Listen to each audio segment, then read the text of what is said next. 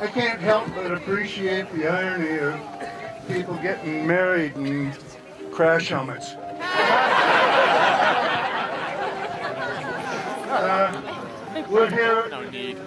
Golly, it's uh, as Abe Lincoln would say, uh, uh, one score and three uh, into the matrimony service at Loveland Ski Area. I came up on lift number two, and I think I had to super glue my freckles down three times. so uh, I won't make you wait long to get to say I do. The Bible says, let the two come together so that they will be warmer than one.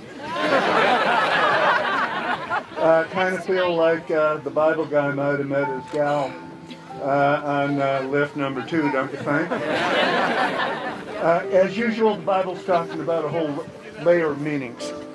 Uh, yeah, you're warm to each other. You have an extra set of hands when you're together to get all the chores done. And you know there's always chores. You have uh, extra set of feet. You've got the extra mind, uh, puzzle through the little quizzes that life throws at us.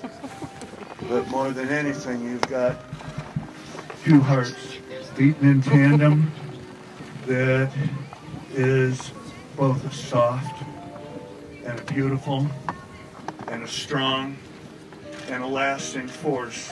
Now, if you can repeat after me, please. I take your hand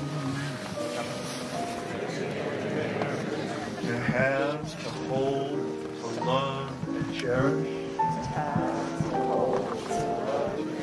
I see me. all our time. And I love you. Uh, doggone you guys, that seals the deal.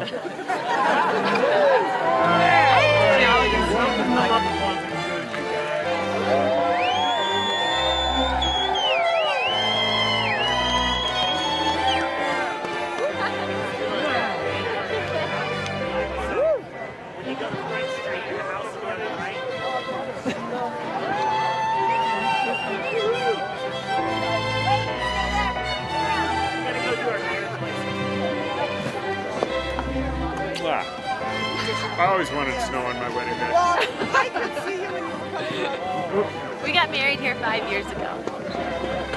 So what are you doing today? Renewing our vows. Renewing our vows. 10 years in a couple months.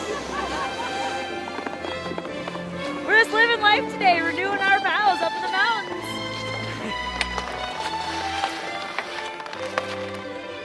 Penguins made for life, so that's pretty romantic. Don't